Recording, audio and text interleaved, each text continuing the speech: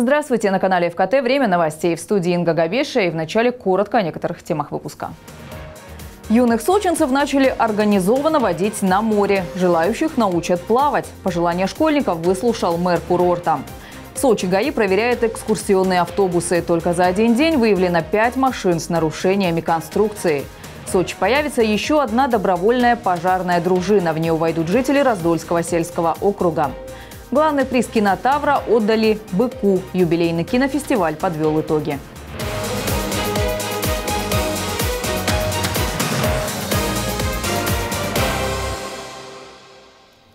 В станице Медведовской появится новая котельная. В поселке Красный Октябрь построят офис врача общей практики. Жители Краснодарского края сегодня рассказали о своих проблемах главе региона на личном приеме.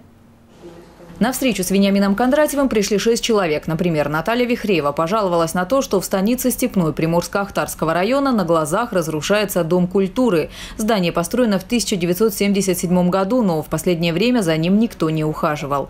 Губернатор потребовал как можно быстрее разобраться в ситуации. Все озвученные сегодня жителям региона на приеме граждан вопросы занесли в протокол. Теперь каждый из них будет тщательно контролироваться, пока проблема не решится. В этом году в Краснодарском крае ожидают порядка 17 миллионов туристов. С каждым разом количество отдыхающих становится все больше. Растут и требования к безопасному отдыху гостей. Насколько готовы кубанские пляжи к приему туристов, обсудили на совещании в администрации Краснодарского края. Регион подготовился удовлетворительно к курортному сезону. И на сегодняшний день я считаю, что а, Краснодарский край готов к приему всех туристов. Ну, конечно, есть недоработки, есть проблемы, над которыми, почему мы акцентируем так внимание, потому что мы все-таки стремимся к идеалу. Основная задача на весь горячий сезон – обеспечить комфортный и, главное, безопасный отдых. На протяжении лета сотрудники МЧС, оперативно-спасательных служб, бригад скорой помощи и полиции будут работать в усиленном режиме, особенно вблизи водоемов. В регионе оборудовано порядка 500 спасательных постов. Но как бы блестяще не выполняли свою работу спасатели, отдыхающим не стоит терять бдительность, а потому не рекомендуется купаться в запрещенных местах, в том числе в состоянии алкогольного опьянения, устраивать пикники в пожароопасный период и пользоваться услугами сам сомнительных туроператоров. Люди в белых халатах, которые спасают жизни. В преддверии Дня медиков в Краснодаре чествовали врачей. Лучшие из них стали лауреатами премии «Дорога жизни». Медицинских сотрудников поздравил губернатор края. На Кубани сейчас работают более 70 тысяч специалистов. Ее лекарство – слова. Разговорами по душам Наталья Свиридова проникает глубоко в сердце и спасает самое ценное – человеческие жизни. За последние два года после общения с психологом женской консультации Тимошевской районной больницы аборт передумали делать 170 пациенток. Каждая девушка, попавшая сюда в кабинет – это отдельная драматичная история. Убедить сохранить маленькую жизнь – настоящее искусство. И, конечно, не обходится без веры в чудеса. Приходила на прием женщина, плакала, сомневалась, но, как правило, очень категорично говорила о том, что она не хочет оставлять ребенка. И когда через 7 месяцев я увидела у двери кабинета женщину, и она говорит, вы помните, я у вас плакала в кабинете? Я говорю, да, наверное, помню. Она говорит, можно вас обнять? Я говорю, растерялась, за что? Она говорит, я все-таки поняла, что свою доченьку я оставила благодаря этой всей информации, что вы дали. То есть вот эти слезы, вот эти объятия этой женщины – для меня это громче слов. За маленькие жизни до последнего борются и в детской краевой клинической больнице. Бригада врачей под руководством Антона Трембача, заведующего отделением анестезиологии и реанимации, спасла 9 пациентов с похожей патологией. Самому младшему – 2 года. Пораженную печень удалось восстановить с помощью уникальной технологии очистки организма от токсинов.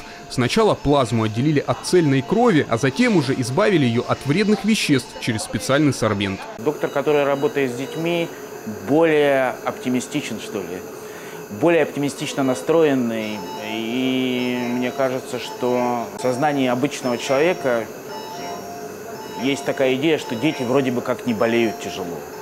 Но, к сожалению, это не так. Дети болеют, и иногда значительно серьезнее взрослых. Сложно сосчитать, сколько подобных историй выздоровления за спиной у каждого врача. Сегодня доктора в преддверии профессионального праздника собрались в Краснодарской филармонии. День медицинского работника по традиции отмечают в третье воскресенье июня. На Кубани больше 70 тысяч специалистов. Это целая армия, которая каждый день спасает жизни, обратился к залу Вениамин Кондратьев. Вместе с председателем законодательного собрания края Юрием Бурлачко глава региона поздравил медиков. Для него это отчасти семейный праздник. Супруга губернатора тоже врач. Сегодня ваш праздник. Праздник тех, которые, которые делают нашу медицину на самом деле, краевую медицину, лучшей в стране, передовой в стране, одной из самых высокотехнологичных в стране. Ведь это делаете вы, люди. Вы, врачи, те, кто выбрали своей жизненной дорогой служение, служение людям. Потому что это не работа. Это не работа, когда, когда порой нет выходных, когда нет отпуска, когда звонит звонок ночью, и, и ты вынужден бросить свою семью, чтобы прийти на помощь другой семье. Я знаю это и по своей семье, своей супруге, когда для нее телефон ночной, я говорю, ну зачем? Она говорит, а почему? Потому что она не сможет кому-то даже доверить, дежурному врачу, потому что она переживает за результаты своей операции, переживает, переживает, как человек в первую очередь, а потом уже как врач, хирург, доктор, профессионал. Это, наверное, очень важно. Важно, что сегодня наши кубанские врачи, вы, обладаете в первую очередь человеческим сердцем. В вашу профессию идут э, большей частью, ну, как мне кажется, люди по призванию и люди неравнодушные. Ведь, э, очевидно, недостаточно э, иметь знания и профессиональные практики. Базовым, очевидно, является наличие доброго, отзывчивого сердца. Это самая главная базовая составляющая вашей профессии. За свою работу лучшие врачи стали лауреатами премии «Дорога жизни». Всего 8 номинаций. Среди победителей, кстати, не только медики. Например, школьники из Абинска Артем Бужак и Илья Генералов получили признание в категории «Спасение года». 14-летние парни не прошли мимо пожилого мужчины, который сидел прямо на земле.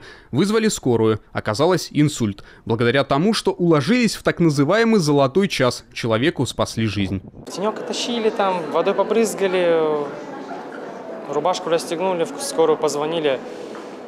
В принципе, простая первая помощь. Такого сильного героизма в себе не ощущали. Самое ценное в работе врачей – время. Очень важно не упустить его в борьбе с болезнью. На Кубани планируют создать принципиально новую систему медицины первичного звена. Высокотехнологичная помощь должна стать доступной каждому жителю региона. Однако даже самые современные аппараты без грамотного персонала – всего лишь железо. Губернатор пожелал медикам то, ради чего они сами и работают. Вы дарите здоровье другим, берегите свое. Будьте здоровы. Вы ведь тоже нужны своим детям, внукам, своим семьям, близким. Вы нужны. И Кубани очень нужны. С праздником. С вашим днем медицинского работника. Спасибо вам не за труд, а за ваше служение. И Кубани, и России. Спасибо. И самым главным подарком для этих людей станут выздоровевшие пациенты. Александр Иванченко, Денис Перец, Алексей Комаров, Кубань-24, Краснодар. А юных сочинцев начали организованно водить на море. С наступлением летних каникул в Сочи стартовала летняя оздоровительная кампания. В городе открылись 47 лагерей труда и отдыха, 57 дневных профильных лагерей и 147 площадок нашего двора. С началом купального сезона у ребят начались и походы на море. Сегодня на пляж Приморский учителя привели отряд из средней школы номер два. Свежий воздух, солнце и море – все условия для закаливания детского организма. Морские ванны в программу школьных лагерей в этом году включили по поручению главы города Анатолия Пахомова. А вот условия для безопасного отдыха школьников создают руководители пляжей и спасатели. Сами ребята всей суеты вокруг себя не ощущают, а просто наслаждаются морем. Сегодняшнее утро очень прекрасное. Я первый раз с лагерем ходила на море. Это, наверное, самое-самое классное из того, то, что я была в лагере. Ты думаешь, что ты просто как будто бы уже повзрослел и сам ходишь с друзьями, одноклассниками. В лагере мы впервые э, купаемся на море. Ну, в общем, интересно здесь. Друзья, купаемся, играем вместе. Набрали воды, чтобы потом после моря там морской бой строить. С бутылками или с пистолетами. Ну да, это здорово. Отдыхаем от школы, на море, плаваем. За детьми на пляже следят не только педагоги, медики и спасатели, но и инспекторы ГИМС. Они заранее провели техническое освидетельствование городских пляжей и обследовали дно моря. Как мы можем видеть, у нас пляжи оборудованы детской купальней. Также вот выделено специально три спасателя, которые следят за детьми. Эти пляжи безопасны для купания детей и гостей нашего города. И такие пляжи у нас по всему городу Сочи. Как отдыхают воспитанники летних лагерей, сегодня лично проверил глава города. И все узнал из первых уст. Ну, это хорошее дело, что вас на море стали? Да. да. Нравится всем? Да, да тоже очень жарко. А на море тут не прохладненько, да? Плавать умеете? Да. Все? Немножко. А есть те, которые у вас э, в школе не умеют да, плавать? Да, есть. А почему они Я немножко умею. Ну их надо, надо научить, это тоже наша задача, Ольга Я Николаевна. немножко плаваю. Те, кто не умеет плавать, надо обязательно научить. И есть же у нас спасатели, может тренеров попригласим тогда со школы. А это не годится, чтобы в городе Сочи жили и не умели плавать. Так же? Да. С сегодняшнего дня по заявкам от руководителей лагерей Управление образования готово организовать и обучение плаванию. Вопросы безопасности здесь полностью решены. Спасатели в достаточном количестве. И э, самое главное, что э, вода соответствует нормам. Имеется в виду, что купать можно детей при температуре воды не ниже 20 градусов. Температура воздуха тоже должна быть не ниже 23. Но надо выбрать правильный режим. Его выбрали, насколько я понял. Это с утра с 10 до 11, ну и вечером с 18 до 19. Э, таким образом, я просто э, думаю, что все будут довольны, и родители в том числе. Ну а самое главное, что мы обеспечиваем полную безопасность. Теперь это должно стать системой. И я думаю, что у наших деток э, за этот, э, скажем, оздоровительный семестр или за оздоровительную четверть действительно появится возможность себя оздоровить, набраться сил, здоровья и потом 1 сентября в школу с новыми силами и хорошим здоровьем. Уже вечером на пляж Приморский пришли отряды лагеря школы номер 7, 10 спортшколы из площадок нашего двора, которые расположены на улицах Островского, Воровского и улице Рос. Ольга Десятого, Инга Габешая, Николай Тихонов, телекомпания ФКТ. В Сочи ГАИ проверяет экскурсионные автобусы. Только за один день выявлено пять машин с нарушениями конструкции. Инспекторы технадзора ГИБДД и сотрудники Ространснадзора начали проверки с наиболее популярных туристических объектов. На контроле техническая исправность, переоборудование транспорта, а также соблюдение режима труда и отдыха. Только за один день выявлено пять автобусов с внесенными в конструкцию изменениями. Как правило, водители перекрывают аварийный выход, устанавливая вместо него дополнительное кресло. Нарушителям выданы требования на устранение неисправностей. Если водитель проигнорирует предписание и не представит машину на проверку в ГИБДД, регистрация автобуса будет аннулирована. Соответственно, работать на нем никто не сможет. Также во время рейда были выявлены два водителя, не соблюдающие режим труда и отдыха. Найденные перевозчики, которые не застраховали своих пассажиров. Штраф за такое нарушение для юридического лица может составлять до 1 миллиона рублей. К новостям вернемся после прогноза погоды и короткой рекламы. Не переключайтесь.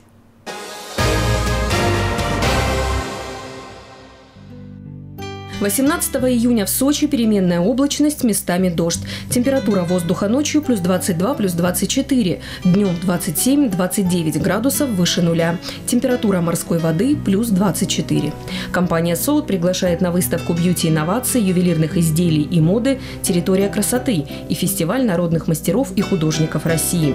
С 20 по 23 июня «Жемчужина. Вход свободный». Сочинских больницах выросло число пациентов с отравлением наркотиками. Тревожную статистику озвучили на заседании антинаркотической комиссии. Количество пациентов с наркотическим отравлением увеличивается в Сочи ежегодно с притоком отдыхающих. По статистике, большинство из тех, кто попадает в больницу после употребления запрещенных веществ, это не сочинцы, а туристы из разных регионов, которые приезжают в Сочи на отдых. Чем отличается, допустим, анализ э, э, обстановки нашей и в целом по Краснодарскому краю, вот на этом фоне мы слишком, конечно, сильно зависим именно от этого притока туристов. Если со своим населением мы проводим работу и соответственно, то есть э, наши э, горожане реже попадаются в отравление, вот именно в летний период чаще в больнице с отравлениями с от наркотиков попадают именно отдыхающие иногородние граждане. Именно поэтому в курортный сезон профилактическая работа должна быть усилена, отметили на заседании, особенно в молодежной среде. Ведь дети и подростки на длинных каникулах часто остаются без пристального внимания взрослых. Одни пробуют наркотики, другие в поисках быстрого и легкого заработка соглашаются на работу курьерами-закладчиками, что после оборачивается длительными тюремными сроками от 12 лет до пожизненного заключения. Что касается статистики, за первое полугодие количество смертей от наркотиков в Сочи уменьшилось, а число преступлений, связанных с запрещенными веществами, осталось на уровне прошлого года – более 200.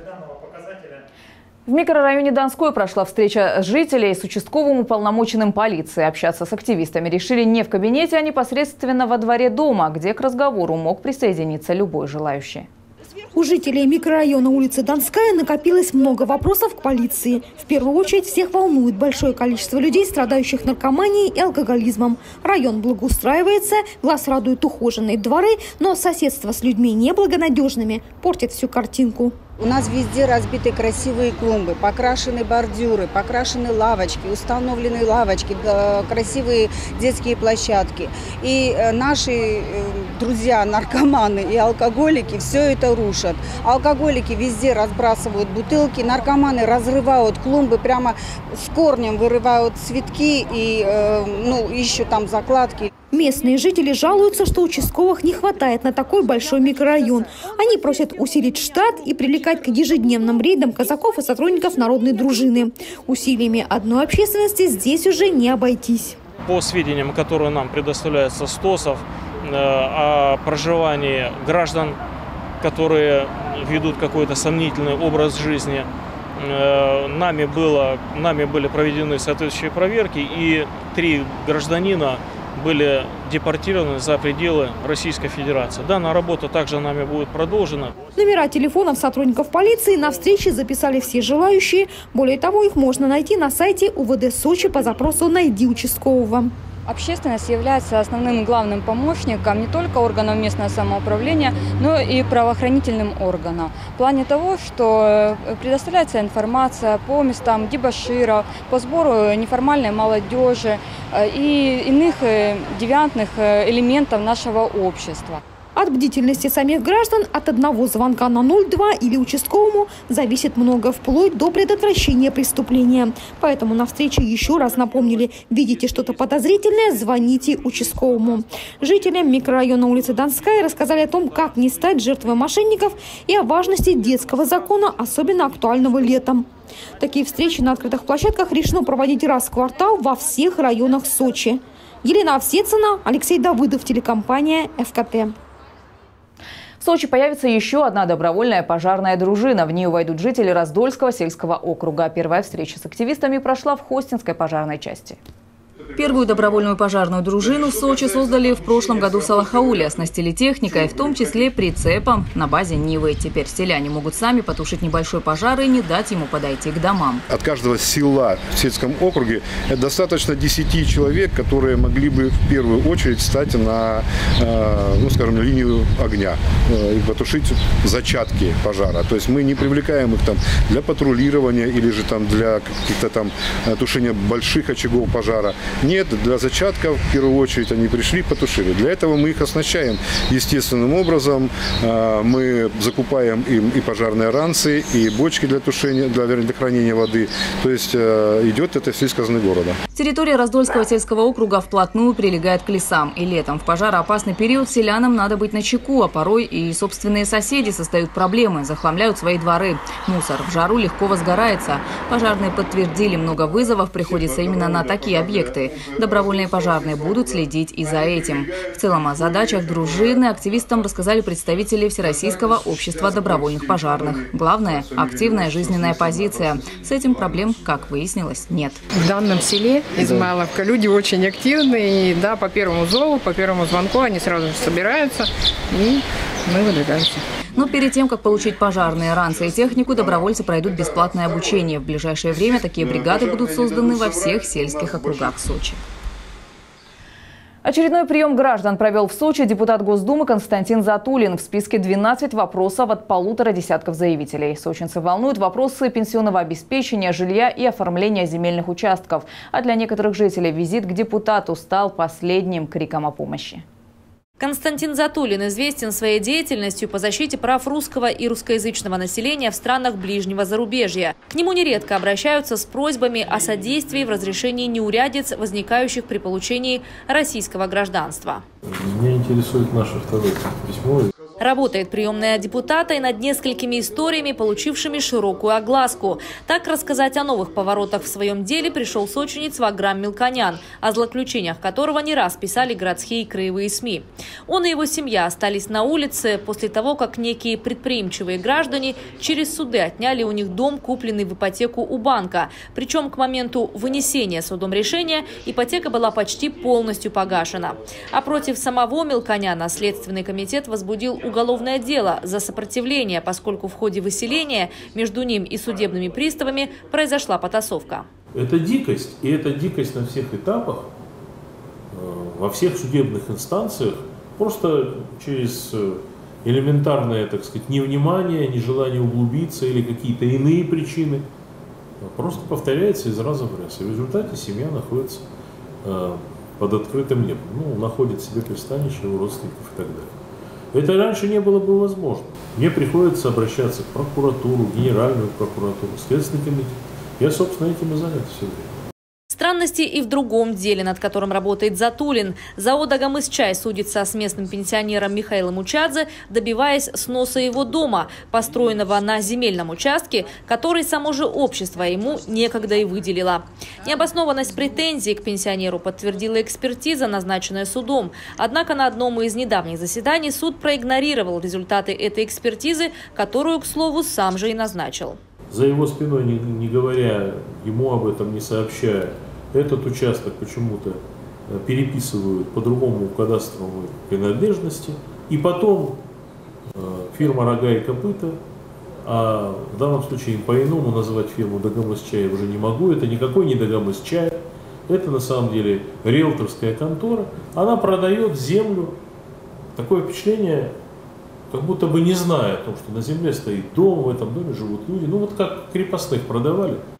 Эти и другие вопросы находятся на постоянном контроле депутата. Об этапах их решения сочинцев будут информировать через городские СМИ. Ольга Десятого, телекомпания «ФКТ». Гимн «Человеку труда». Новый проект под таким громким названием – это инициатива городского совета ветеранов. Сочинцам будут рассказывать о горожанах, чей труд заслуживает особого внимания. Первым участником нового проекта стал Алексей Горбунов, председатель городского совета ветеранов. Алексей Горбунов – известный в Сочи человек. Его трудовая деятельность насчитывает 55 лет, а имя занесено в книгу почета города Сочи. И даже на пенсии он очень активен, возглавляет городской совет ветеранов, является советником главы Сочи, помощником члена Совета Федерации. Сам он называет свой трудовой путь интересным и необходимым для города, а начал работать с 14 лет, создав школьную производственную бригаду. Трудолюбие – это фундамент, или труд – это фундамент всей жизни, основа всей жизни. Если ты даже родился гениальным и не будешь развивать и работать над своими способностями, весь твой гений уйдет. Был строителем, инженером, электриком, сотрудником Лазаревского райкома партии, работал в исполкоме народных депутатов Центрального района, генеральным директором гостиницы «Москва-Чайка» и даже избирался депутатом законодательного собрания края. Его самоотверженность, его отдача, его умение сопереживать, э, понимать людей, умение работать с ветеранами. Э, а он отстаивает интересы ветеранов, он доводит до администрации города, до главы города. Вы понимаете, он, вот его настойчивость – это его позиция. Позиция быть человеком не безразличным, э, судьбам людей. Для того, чтобы город развивался, для того, чтобы э, он хорошел, процветал, все равно нужна опора на тот опыт, который уже был. И на тех людей, он говорит, э, на тех людей, которые это делали и развивали наш город. И вот говорят, а кто герой нашего времени? Вот я считаю, герой нашего времени. Вот, вот те люди, которые сделали наш город прекрасным и э, красивым.